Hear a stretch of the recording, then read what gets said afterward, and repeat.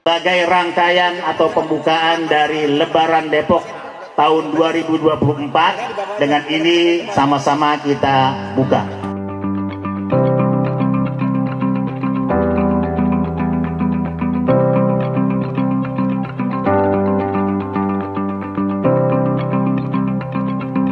Jadi ini untuk silaturahim, untuk silaturahmi, uh, untuk melestarikan budaya. Ingat-ingat para milenial bahwa kita dulu punya budaya yang sangat luar biasa, gotong royong, kerjasama, ya semuanya ada di uh, apa namanya filosofi budaya budaya tadi, budaya kebersamaan, kesantunan, budaya kuyup, ya itu adalah budaya yang harus kita lestarikan. Sleman berjumpa abah, orang Yogyakarta katanya nggak doyan ikan. Betul.